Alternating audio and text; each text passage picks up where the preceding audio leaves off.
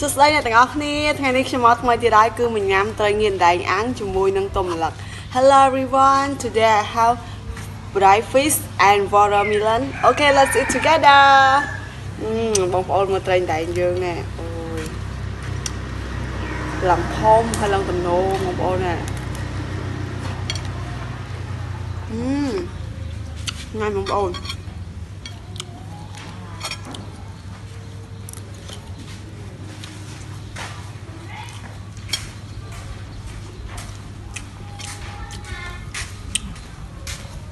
សាច់ឡើងឆ្ងាញ់បងប្អូនអើយ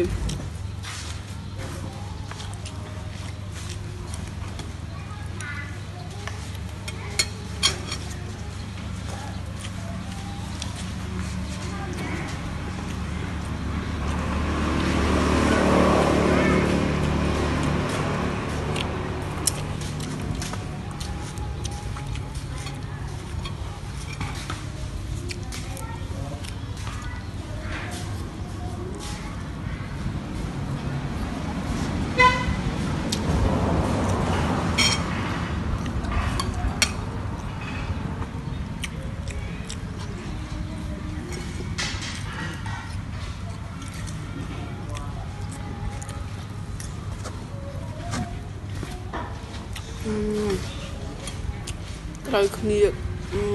រសជាតិសាហាវ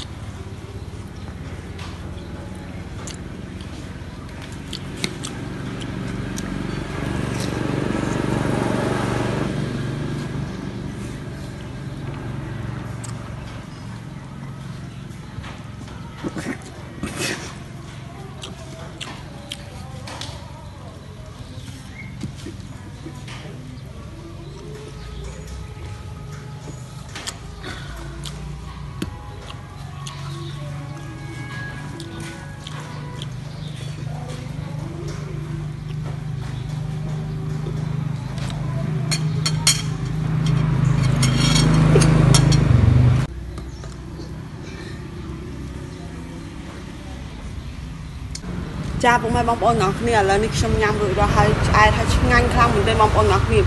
បើត្រីវិញអាពេលយើងយកវាមកប្រឡាក់នៅស្រស់ស្រស់ហួយបងប្អូននៅឆ្ងាញ់ខ្លាំងណាស់បើអាឡឹកវិញ